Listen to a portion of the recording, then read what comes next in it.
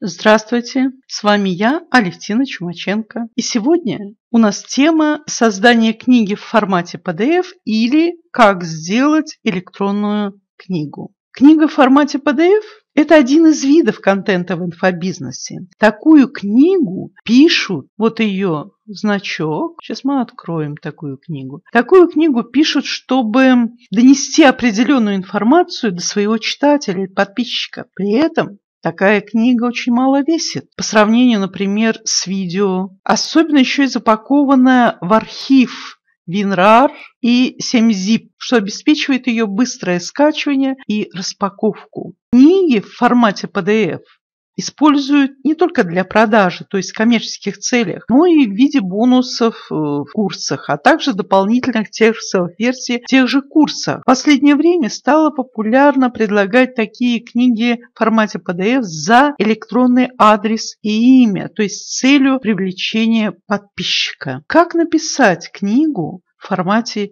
PDF или как сделать электронную книгу. На самом деле написать такую книгу в действительности очень легко и просто. И вы, коллега, если еще не писали, то сами в этом скоро убедитесь. Здесь прослеживаются четыре основные шага. Сейчас мы их проговорим, а затем перейдем к практическим шагам. То есть выделяется основа всего это текст, он редактируется, что-то прибавляется, убирается, затем форматирование идет, используя максимальные по максимуму возможности Word, в том числе вставляются картинки, цветом что-то выделяется. Затем вы сохраняете свой текст просто в формате PDF в нужной вам папке. Третьим пунктом вы сохраняете этот же текст в формате PDF, и вы получаете практическую электронную книгу. Четвертое. Мы запаковываем эту книгу в архив WinRAR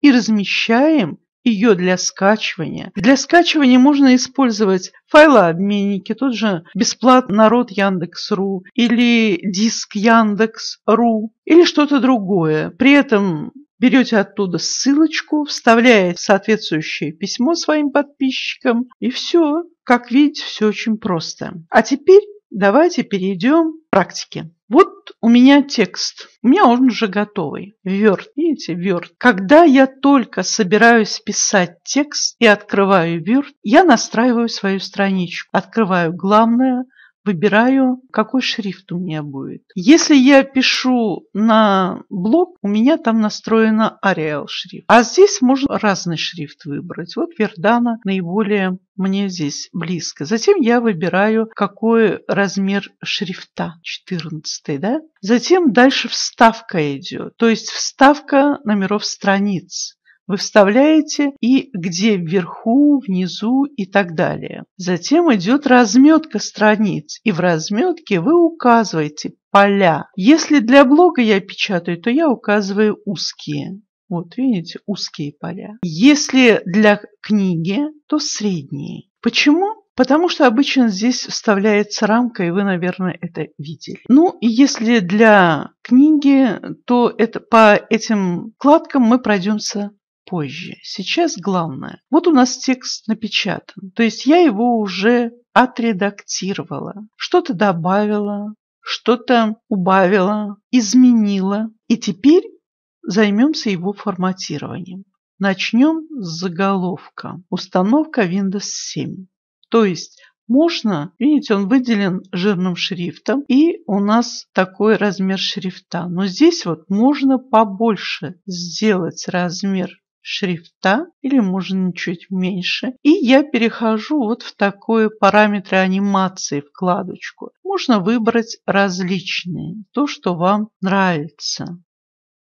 Давайте это выберем и оставим. Так, дальше Давайте вставим какую-то картиночку. Я иду по всему тексту и вставляем картиночку. Так как у нас Windows 7, вот вставим. В Word очень легко изменять размер картинки, просто подводя вот так вот за уголочек. И щелкнем. Все. Дальше что-то такое нам нужно. Если вам нужно выделить, например, абзац целый, то можно зайти цвета темы и вот так выделить. Или желтая. Пусть будет так у нас. Или вы какую-то, ну, хотите, например, вот, ну, одно выделить, то можно просто вот так вот выделить, да, без проблем. Далее я хочу вот сюда тоже вставить картиночку. Ставка, рисунок. Я уже заранее подготовила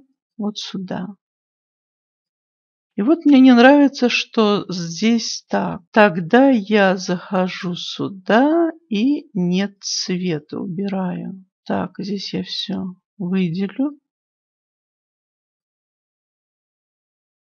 И нет цвета. Пусть будет без цвета. То есть проходитесь по всему меню Word и фигуры ли вам нужно вставить, диаграммы, верхний ли колонтитул, нижний колонтитул вставляете, надписи делаете, ссылочки вставляете, разметку ли страниц делаете, ориентацию, то есть вот у нас сейчас книжная ориентация. Или, может быть, вы подложку какую-то сделаете, да, секретно. Все, что угодно. Цвет страницы вы можете поменять. Дальше вы можете сделать границы. Вот здесь у меня тип нет границы. Давайте поставим рамка. Здесь можно с тенью, объемная, другая и так далее. И мы даже выберем эту рамку. Какая она у нас? Черного цвета и вот такую рамку выберем. И сделаем вот так. Окей. Рамка у нас появилась. Вы такое видели уже. Вы можете даже в две колоночки, видите, здесь у нас в одну колонку, даже в две колонки сделать. Кроме того, если вы нажмете на рецензирование, у вас открываются связанные заметки Боненоте. То есть можно использовать и отсюда то, что вы записывали. Обязательно проверяйте правописание. В последнее время все чаще можно заметить на просторах Рунета грубые ошибки в русском языке, просто незнание русского языка. Если вы пишете книгу, естественно, перед этим напишите содержание. Ну и здесь я не буду писать, это вы сами можете содержание и каждой главе и страницу, название главы и страницы, а вставим еще титульный лист. Вставка. И вот здесь стандартные, а чуть ниже дополнительные титульные страницы, вам они не видно. Ну вот я нажму, ну, мы это уберем и добавим что-то другое, титульную страницу. Это не обязательно будет у вас такой цвет. Здесь цвета, они все, все их можно изменять. Ну вот я добавлю элементарное. Здесь пишите название документа, можете ввести его под заголовок, дату и так далее. Ну вот приблизительно так я изменила. Изменила цвет, сделала жирным и синим цветом, увеличила под заголовок, автор, какой год. И затем я мы просто начинаем работать с колонтитулами. То есть вы смотрите, какой вам выбрать колонтитул. Вот я выбрала этот колонтитул. И здесь сразу вводится название вашего документа. То есть тот, который вы ввели в титульном листе. И затем, затем нижний колонтитул. Здесь вводится название текста. То есть я написала здесь адрес своего блога. И затем закрываете это окошечко. И вот смотрите, что у меня получилось. Вот у меня верхний колонтитул, установка Windows 7. И вот внизу адрес моего блога. Я, естественно, выровняла посередине жирным шрифтом и наклонный курсив. Все. И сохранила. Что нам дальше нужно делать? Давайте посмотрим. Сохраняем свой текст в формате Word в соответствующей папке. Это мы уже сохраняем. Третье. Сохраняем этот текст Word в формате PDF. Получаем книгу. Вот у нас уже есть ее титульный лист. Меня это устраивает. Я нажимаю на файл и сохраняю как? У меня открывается Word, установка, у меня был мини-курс. Дальше тип файла, вы видите документ Word. Вы нажимаете здесь и выбираете PDF. Вот мы выбираем PDF и нажимаем «Сохранить». Замените, ну, Да. И вот вы видите, книга уже есть. Такая же книга, как какую я вам показывала ранее. У нее значок Windows 7, установка Windows 7. Конечно, некоторые используют программы, но сейчас в офисной системе, операционной системе 2010 нет никакой надобности использовать программы. Вот смотрите, специальные программы для компоновки в электронную книгу. Файл, нажали печать, и вот здесь вот, вот у меня Xerox стоит, вот, у меня установлен драйвер PDF, видите? И если я сейчас нажму, пойдет процесс компоновки в PDF. Вот, установка, тип файла Adobe PDS и сохранить. Все, можно и так. Вот она у меня. Вот такая вот книга.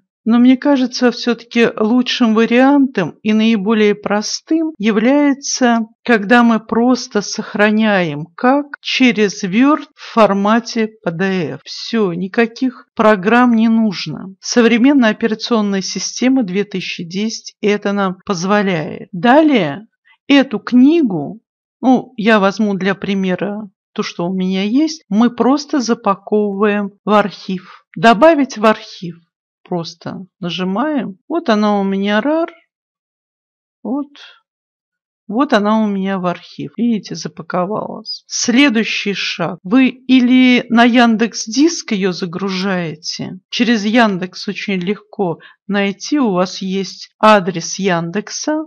И здесь дается бесплатно 2 гика. Или бесплатные файлообменник тоже с Яндексом, электронным адрес, адресом Яндекса, вы заходите сюда и загружаете свой файл. Здесь у вас, здесь очень простая процедура регистрации на этом файлообменнике, он бесплатный, неограниченное пространство для ваших файлов. После того, как вы загрузите ваш файл архивом, у вас будет ссылка Эту ссылку вы скопируете и затем разместите на соответствующем письме своим подписчикам. Но мне могут задать вопрос, а как читать эту книгу? Дело в том, что существует определенная программа, называется Reader. Как я ее нашла? Вы можете набрать Reader в поисковике Google и просто вот здесь нажимаете на ссылку это убираем, нам этот не нужен. И здесь смотрите, у вас другой язык или операционная система. Вы нажимаете на нее